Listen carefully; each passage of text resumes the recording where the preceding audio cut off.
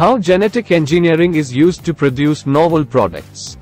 Genetic engineering is employed to create novel products by manipulating the genetic material of organisms. The mechanism involves several key steps that enable scientists to introduce new genes or modify existing ones to produce desired traits or substances. Here's a general overview of the process.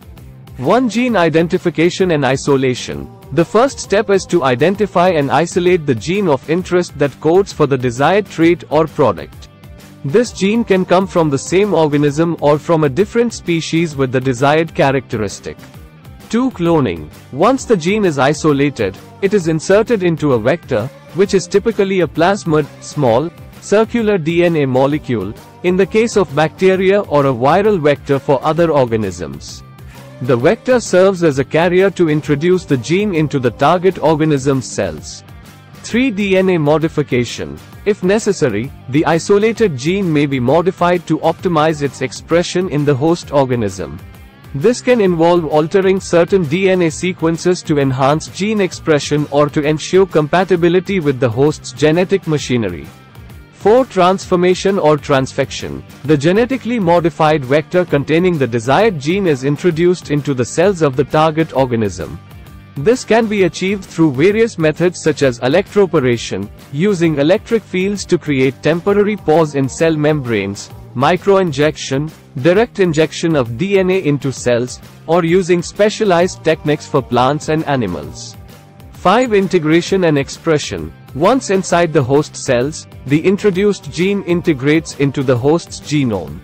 This allows the host to utilize its own cellular machinery to read the gene and produce the desired product.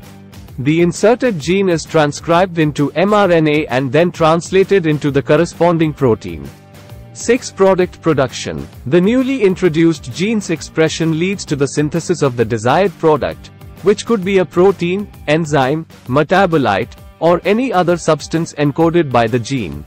7. Purification and processing. Depending on the product, purification and processing steps may be required to isolate and refine the desired substance from the host organism's cellular components.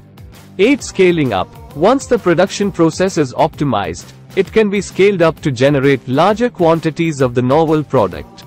This is especially important for commercial applications. 9. Quality control. Rigorous quality control measures are implemented to ensure that the produced product meets the desired specifications and safety standards.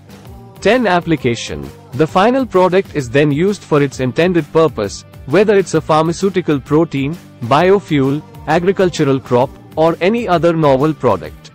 It's important to note that the success of genetic engineering depends on the ability to deliver the modified genetic material into the target organism's cells efficiently and effectively.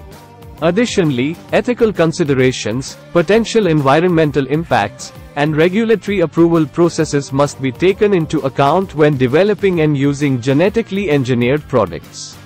Genetic engineering's mechanism has revolutionized multiple industries, allowing scientists to tailor organisms to produce valuable substances, improve traits, and develop innovative solutions to various challenges. Thanks for watching. Subscribe for more interesting videos.